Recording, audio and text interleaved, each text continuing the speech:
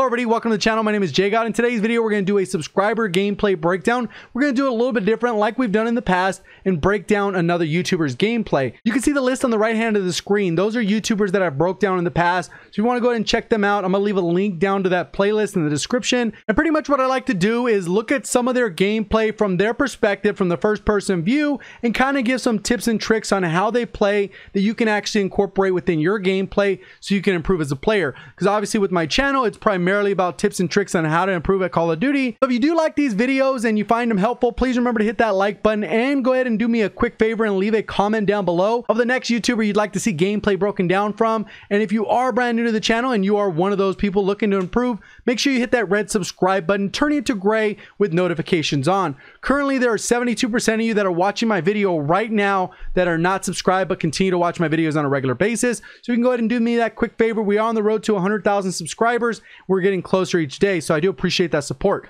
With that, let's go ahead and get into the breakdown. So right here, the first thing we're going to go ahead and look at is this is ChainFeeds, uh, who he is as a YouTuber, and he has 242,000 subscribers, so he's almost at that quarter million mark. So if none of you guys have ever heard of him, basically what he uploads is high-octane, fast-paced gameplay, and pretty much every video has some kind of nuclear, and sometimes they have multiple nuclears in one video. So here's a quick peek at his stats. Right here, you can see his score per minute is through the roof, so he plays extremely fast. 4.58 EKIA. His weekly is really high as well at 5. 1.47 and almost 700 score per minute. Pretty much what we're going to look at right here is the number one thing that uh, he does is he is playing uh, with only lethal streaks. So if you're trying to go for high kill games like I'm going to show off here, each of these gameplays, there's three of them. There's 70 plus kills per match. So we're going to skip around a lot because there's a lot of different information depending on what map he's playing, but you're going to kind of see how this plays out. He does have pure lethal streaks. So what he does is he rushes to mid as quick as he can. Uh, he's using the Daemon, which is kind of a little bit overpowered, but that's kind of irrelevant for the gameplay. Right here he comes, takes out the first guy, ducks away, gets a little bit out of there, jumps back out and takes out the next guy. His teammates right here with him.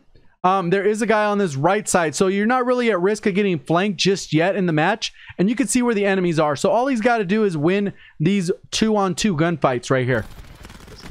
So he takes that one out, takes out the other. So he's already gotten about four kills. It's pretty much the entire lobby. Right here, there is a guy sneaking through. Enemies coming through. See how he reacts. Reacts pretty good. I don't know why the guy was kind of basically chasing after him. But he jumps up.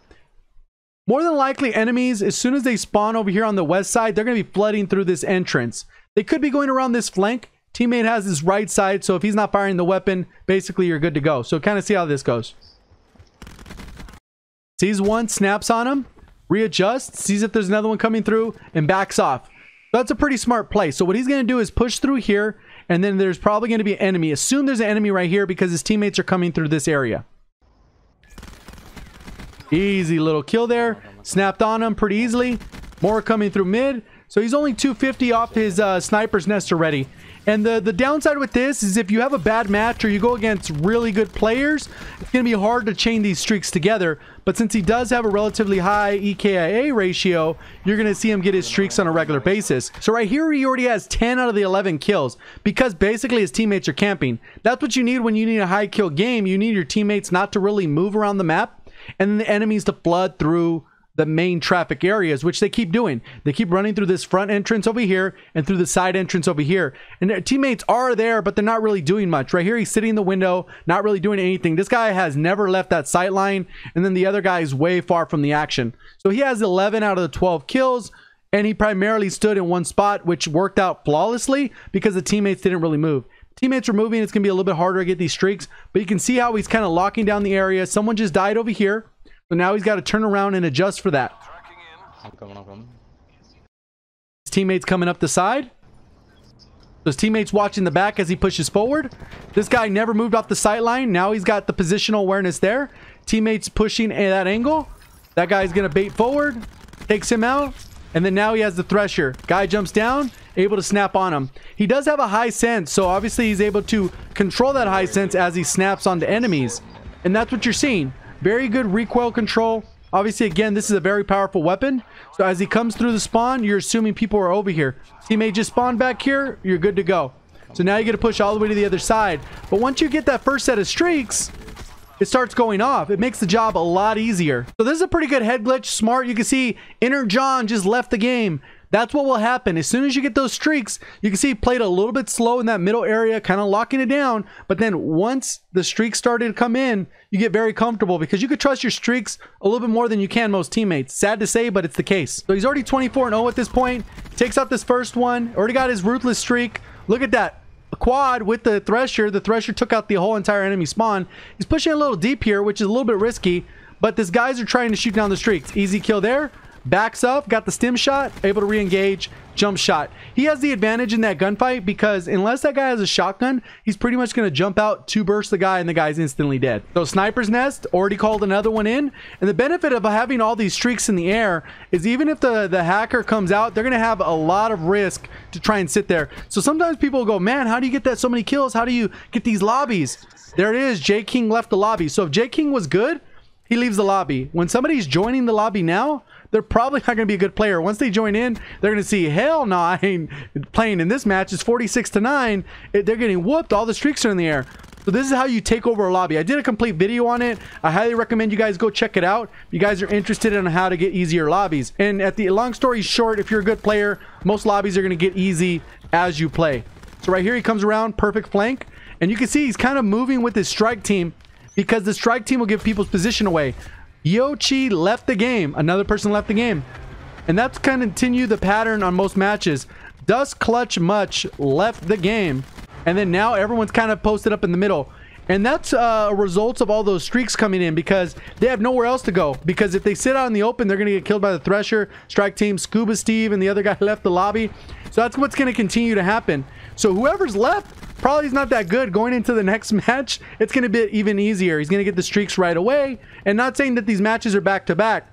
But when you get one of these lobbies where you're able to kick everyone out of lobby because no one wants to deal with the streaks or have to shoot them down on a regular basis, they just leave the lobby. Right here, he knows the guy's here, debating if he's going to push, and then the teammate ends up taking him out, or the strike team rather. He knows there's a guy there.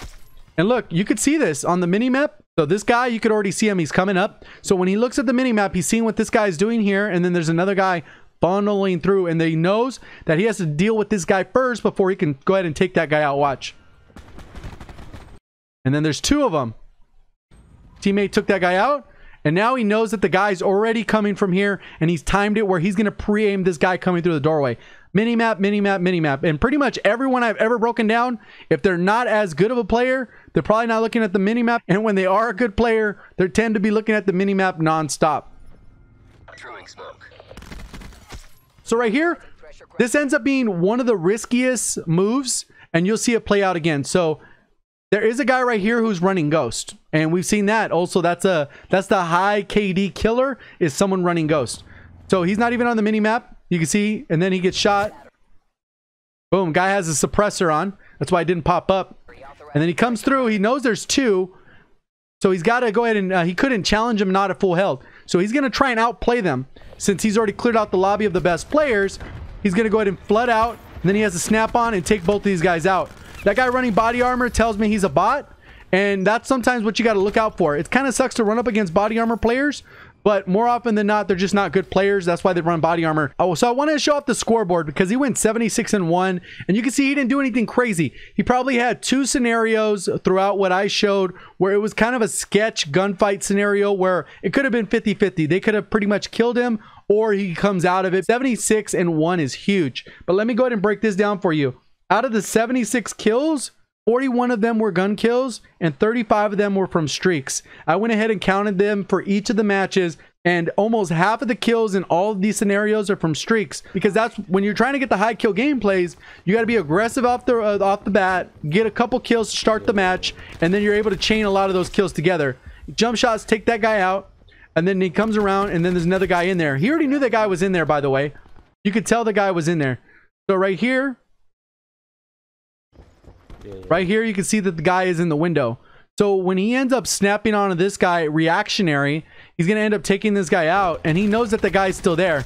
Luckily, he has a really fast time to kill weapon, comes around, and then you can see he comes back through, and he knows the guy's in there. He just assumes he's in the corner, and then he ends up snapping on the guy. Takes out this guy on bridge, or at least gets some hit markers. You can see the guy's coming through. He's waiting, slides out, takes him out. Easy kill. So the spawn should be all the way on the east side. And he's already pre-aiming. Guy comes through. He takes him out. Takes out the next one. And then the smoke is there. So he's got to go ahead and kind of push this. Because that's teammate smoke. Somebody is behind him. So he's going to rush back to go ahead and take that guy out. Because that guy is in their spawn.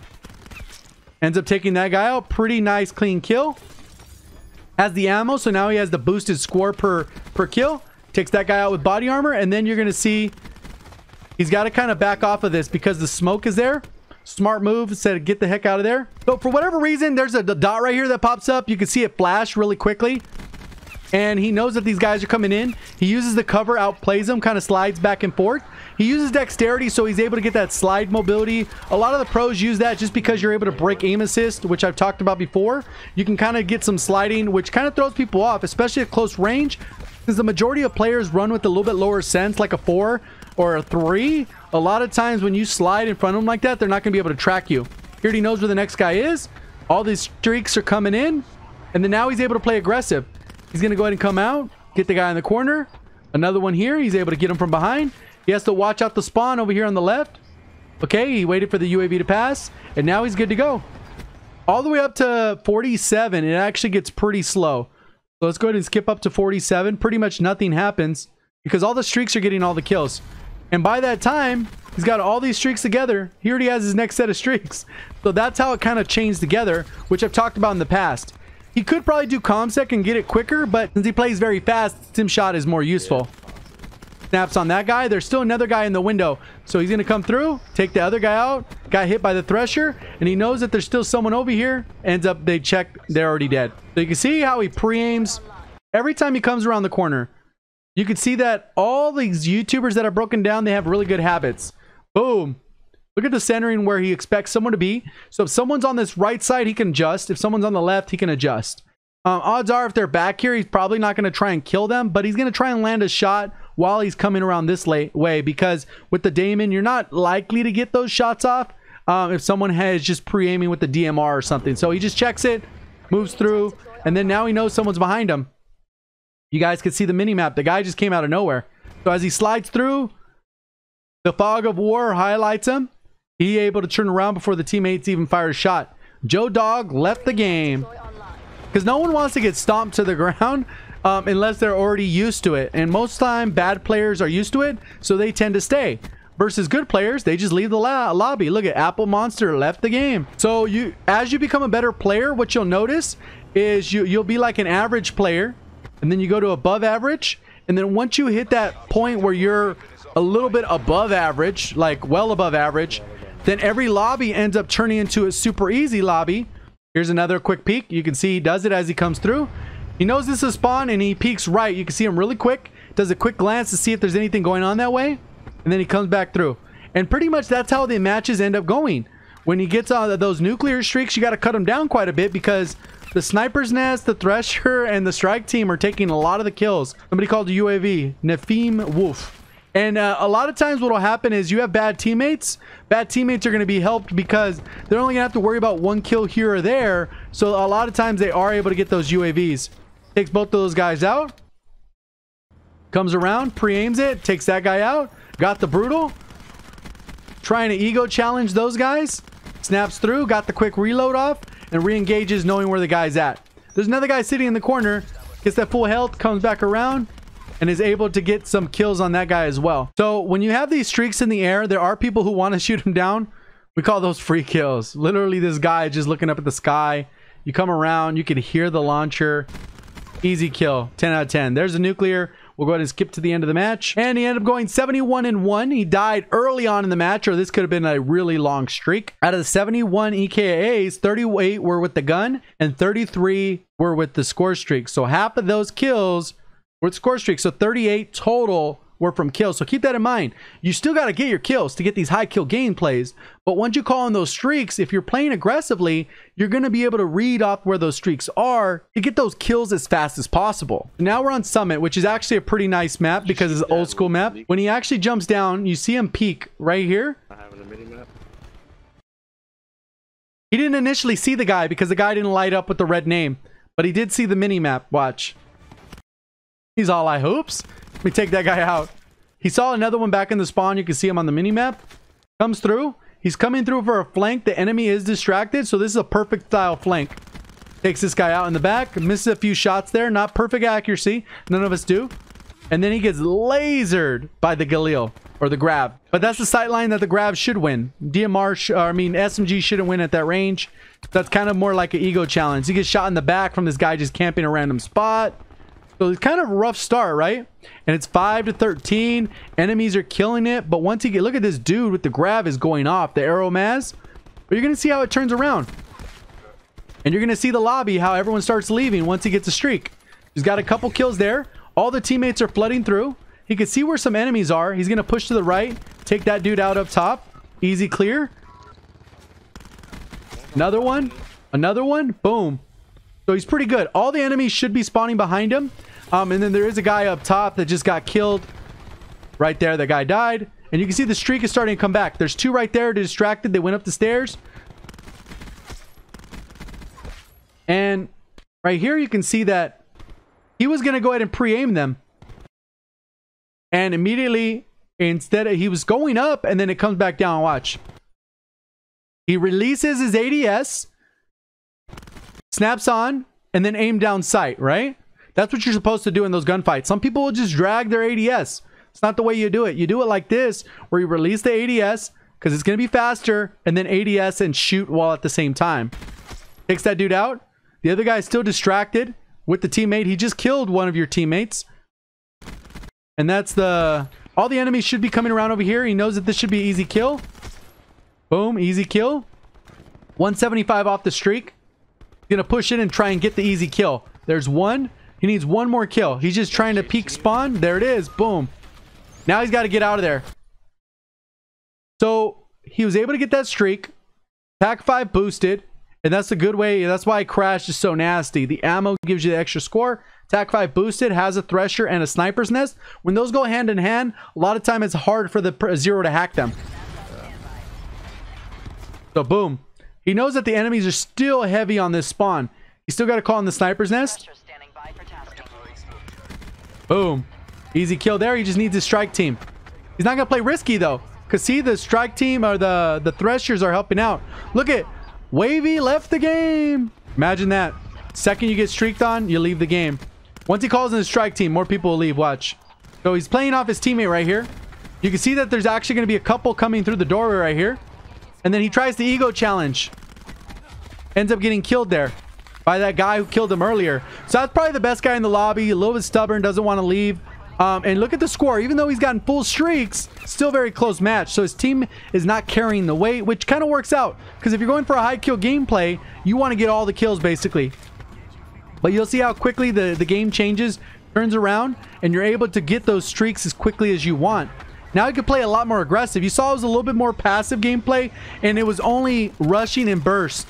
Takes that guy out, so he's got to run all the way back to the other side.